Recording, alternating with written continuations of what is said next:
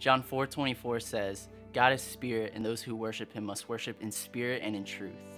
To worship in spirit is to worship authentically, from our core, from our soul. But what does it mean to worship God in truth?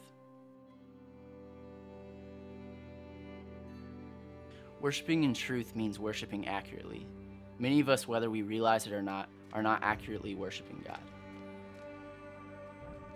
We're worshiping a version of God that we're more comfortable with. We pick and choose the attributes of God that we like, and the ones we don't, we either ignore or we rationalize to mean something we find more palatable. This is not God's desire. A relationship with Jesus should transform who we are. As we learn more about who Jesus is and what he desires, our opinions matter less and less.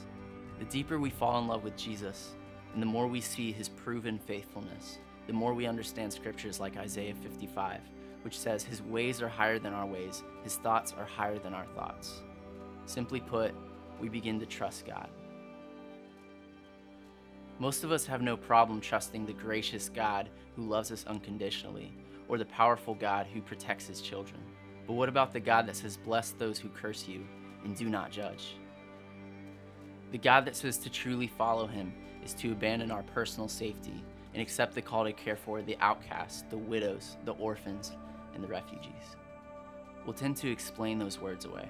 We'll say those were written a long time ago, but that's not who God is.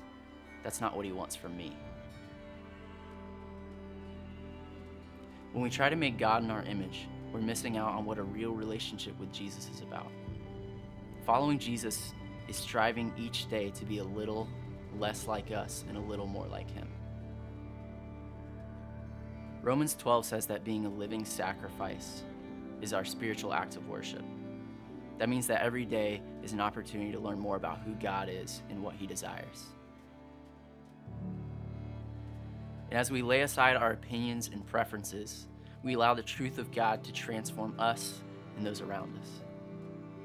And through this, God is glorified. We're fulfilling our purpose to worship God with everything that we are.